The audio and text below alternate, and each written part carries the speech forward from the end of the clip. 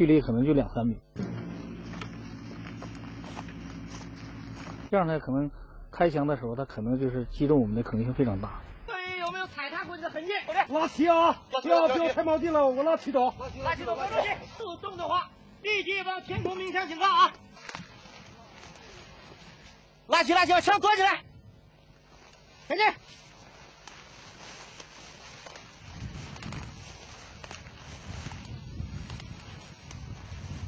你看，我们边行进边下达口令，边组织民警要保持战斗队形。这就是什么呢？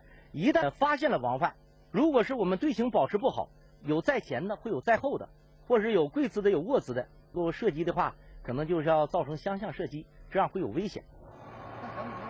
大家的眼睛都紧紧地盯住视线范围内的每一个角落，因为谁也不知道下一秒钟将会发生什么。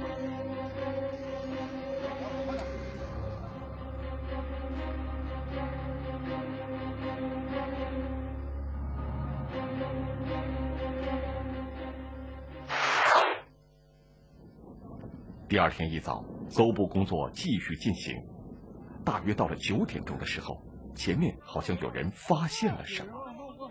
前面报告发现有人往苞米地里钻。在哪儿？在哪个位置啊？在哪儿？这电话咋呀？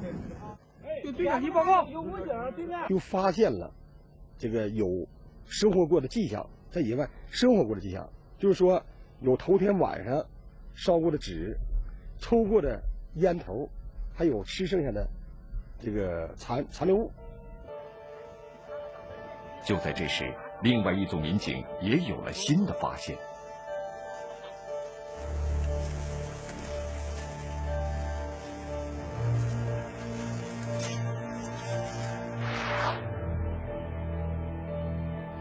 看来，正如警方所料，王厚军并没有骑车逃窜。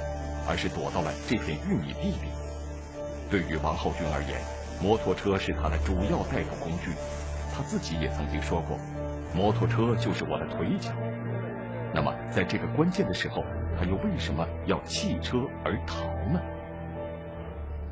那么，他感觉骑摩托车在跑，这个目标比较大，而且他原来骑摩托车跑，就我们公安机关也掌握，这样他弃车逃，钻气拉帐，不易被发现。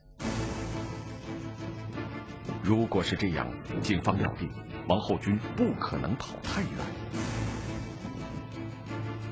此时，穷凶极恶的王厚军很可能就藏在某个角落里，静静地注视着我们。所以，沿途任何一个能够藏身的地方都有可能危机四伏。毕竟，犯罪嫌疑人手里有武器。